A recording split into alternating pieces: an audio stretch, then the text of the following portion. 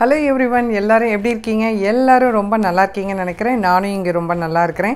இன்றைக்கி நம்ம பார்க்க போகிற ஒரு சூப்பரான ரெசிபி ஹெல்த்தியானது தான் சிக்கன் டிக்கா எப்படி பண்ண போகிறோம் அப்படிங்கிறது தான் இந்த வீடியோக்குள்ளே பார்க்க போகிறோம் ஸோ இந்த வீடியோ உங்களுக்கு ரொம்ப பிடிக்கும்னு நினைக்கிறேன். பிடிச்சிருந்தா லைக் பண்ணுங்கள் உங்கள் ஃப்ரெண்ட்ஸ்க்கும் ஷேர் பண்ணுங்கள் மறக்காமல் சப்ஸ்கிரைப் பண்ணிவிட்டு பக்கத்தில் இருக்க பெல்லையும் கிளிக் பண்ணிக்கோங்க.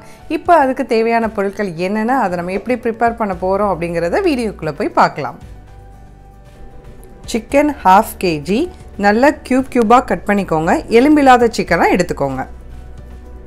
திக் கர்ட் நாலு table spoon ginger and garlic paste one table spoon தேவையான அளவு உப்பு. Bell pepper green colour red colour onion இது எல்லாத்தையுமே க்யூப் க்யூபாக கட் பண்ணி வச்சுக்கோங்க. லெமன் ஜூஸ் த்ரீ டீஸ்பூன் மிளகாப்பொடி one table spoon சீரகப்பொடி one teaspoon garam masala one teaspoon turmeric கா டீஸ்பூன் பெப்பர் கா teaspoon olive oil two teaspoon சிக்கனை ஃபஸ்ட்டு மேரினேட் பண்ணிடலாம் கேர்டு கேர்டு வந்து நல்லா திக்காக எடுத்துக்கோங்க. ஆலிவ் ஆயில் லெமன் ஜூஸ்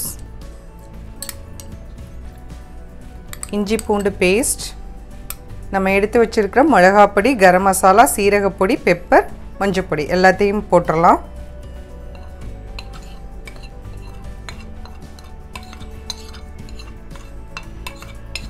இதுக்கு தேவையான அளவு உப்பு. எல்லாத்தையும் நல்லா மிக்ஸ் பண்ணிக்கோங்க. இப்போ எல்லா மசாலாவும் நம்ம மிக்ஸ் பண்ணியாச்சு. இதில் இப்போ சிக்கனை எடுத்து போட்டு அதையும் பிணைஞ்சிடலாம்.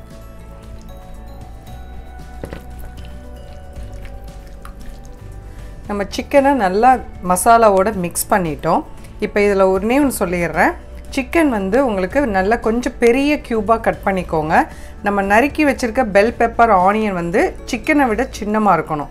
ஏன்னா நம்ம அந்த ஸ்கில்லெட்டில் வந்து குக் பண்ணும்போது உங்களுக்கு சிக்கன் நல்லா குக் ஆகணும். வெஜிடபிள் வந்து நமக்கு சீக்கிரமாகவே குக் ஆகிடும் ஸோ இந்த மாதிரி onion red bell pepper green bell pepper இது எல்லாத்தையும் ஸ்மால் ஸ்மாலாக கட் பண்ணிக்கோங்க. இப்போ இதில் வந்து இந்த மசாலாவோட சேர்த்து நல்லா மிக்ஸ் பண்ணி வச்சிடலாம்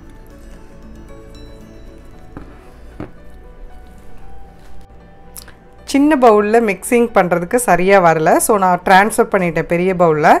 நம்ம எல்லாமே அந்த குடமிளகா ஆனியன் சிக்கன் எல்லாமே அந்த மசாலாவோட கோட் பண்ணிட்டோம். இதை ஒரு டூ ஹவர்ஸ் நம்ம ஃப்ரிட்ஜில் வச்சிடலாம் அதுக்கப்புறம் நம்ம சிக்கன் டிக்கா ப்ரிப்பேர் பண்ணலாம். நம்ம சிக்கன் ஃப்ரிட்ஜில் வச்சாச்சு. ஸோ ரெண்டு மணி நேரம் கழித்து தான் நம்ம சிக்கன் டிக்கா எப்படி பண்ணுறது அப்படிங்கிறத பார்க்க போகிறோம் இது வந்து நல்ல சிக்கனை விட நம்ம கட் பண்ண அந்த பெல் பெப்பர் ஆனியனை ஸ்மாலாக கட் பண்ணிக்கோங்க. அது ரொம்ப முக்கியமானது.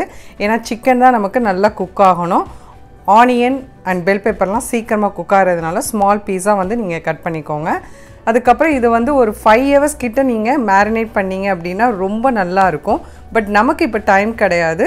ஸோ டூ ஹவர்ஸ் கழித்து நம்ம ப்ரிப்பேர் பண்ணலாம். நம்ம மேரினேட் பண்ண சிக்கன் இப்போ இதை வந்து நம்ம ஸ்டிக்கில் வந்து நம்ம அரேஞ்ச் பண்ணிடலாம் இந்த மாதிரி ஸ்டிக் விற்கும் வாங்கிக்கோங்க. இது இரும்புலையும் ஸ்டீல்லையும் கூட இருக்குது.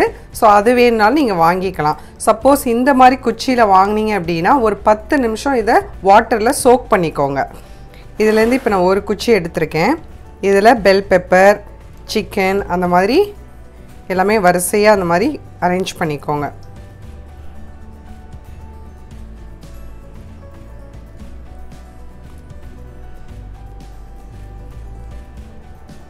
பார்த்திங்களா நம்ம சிக்கன் பீஸ் வந்து கொஞ்சம் பெருசாக இருக்குது நம்ம பெல் பெப்பர் வெங்காயம் எல்லாமே சின்னதாக இருக்கணும்.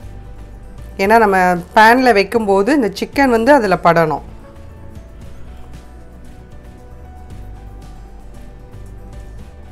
ஸோ இந்த மாதிரி எல்லாமே நம்ம அரேஞ்ச் பண்ணிக்கலாம். ஸோ நம்ம எல்லாமே அந்த குச்சிக்குள்ளே கோர்த்துட்டோம். So chicken bell pepper onion இந்த மாதிரி பேட்டர்னில் நீங்கள் கோர்த்துக்கோங்க. ரொம்ப ஃபுல்லாக எண்டு வரைக்கும் நீங்கள் இது பண்ண வேணாம். சென்ட்ரு மட்டும் நீங்கள் கவர் பண்ணி அதில் அரேஞ்ச் பண்ணிடுங்க இப்போ நம்ம டிக்கா வந்து பேனில் போட்டு ப்ரிப்பேர் பண்ணிடலாம் அடுப்பை ஆன் பண்ணிவிட்டு கேஸ்டையான் ஸ்கில்லெட் எடுத்துருக்கேன். நீங்கள் உங்ககிட்ட இது இல்லை அப்படின்னா நார்மலாக நம்மளுடைய இரும்பு கல் இருக்கும்ல அதை கூட நீங்கள் எடுத்துக்கலாம். ஸ்கில்லெட் சூடானோன்னே ஒன் டேபிள் ஸ்பூன் பட்டர் சேர்த்துருக்கேன். நீங்கள் பட்டர் இல்லை அப்படின்னா நீங்கள் ஆயில் கூட சேர்த்துக்கலாம்.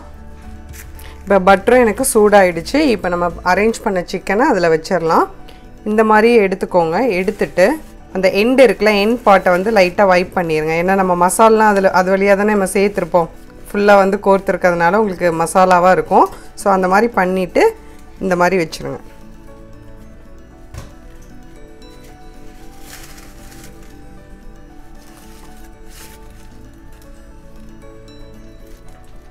அடுப்பு வந்து மீடியம்க்கும் லோக்கும் சென்டராக வச்சுக்கோங்க.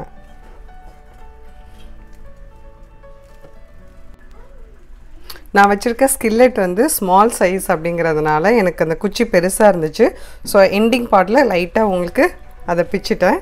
ஸோ இந்த மாதிரி நீங்கள் அரேஞ்ச் பண்ணிக்கோங்க. நம்ம குக் ஆகும்போது கொஞ்சம் கொஞ்சம் நிமிஷத்தில் வந்து அப்படி இந்த இந்த மாதிரி டேர்ன் பண்ணி டேர்ன் பண்ணி விடணும். ஸோ கொஞ்சம் நேரம் ஒரு சைடு குக் ஆகட்டும். இப்போ ஒரு சைடு நமக்கு குக் ஆகிடுச்சு அடுத்த சைடு இந்த மாதிரி ரொட்டேட் பண்ணி போடுங்க. சைட் பை சைடாக நீங்கள் வச்சு வச்சு பண்ணணும். ஆயில் எதுவுமே ஊற்ற வேணாம். நம்ம ஏற்கனவே போட்டிருக்க பட்டரே வந்து போதுமானது.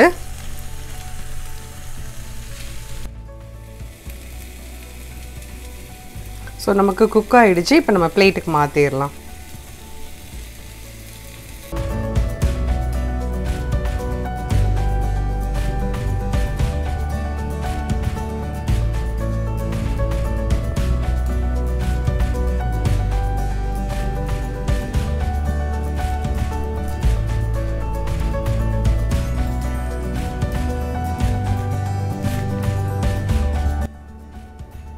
ஸோ இந்த மாதிரி நீங்களும் கண்டிப்பாக ட்ரை பண்ணி பார்த்துட்டு எப்படி வந்துச்சுன்னு எனக்கு கமெண்ட்டில் சொல்லுங்கள் கண்டிப்பாக ட்ரை பண்ணுங்கள் எல்லோரும் ஹெல்த்தி ரெசிபி வந்து போடுங்க. வெயிட் லாஸ் ரெசிபி போடுங்க அப்படின்னு சொல்லி மெசேஜில் கேட்டிருந்தீங்க.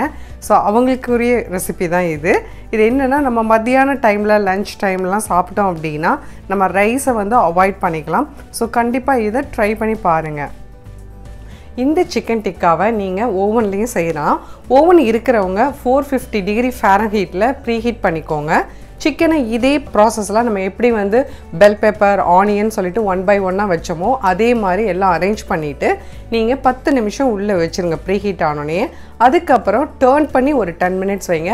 மேலே அந்த கலர் வந்து கிறிஸ்பினஸ் வர்றதுக்காண்டி ப்ராயில் மோடில் ஒரு டூ மினிட்ஸ் வச்சுட்டு எடுத்துருங்க. சூப்பரான ஒரு ஜூஸியான சிக்கன் உங்களுக்கு ரெடி ஆகிடும் ஓவன் இல்லாதவங்களுக்கு நான் செஞ்ச ப்ராசஸில் நீங்கள் செஞ்சு பாருங்கள் நம்ம அடுத்த வீடியோவில் இன்னும் பலவிதமான ரெசிபியோடு சந்திக்கலாம். அது வரைக்கும் பை பாய்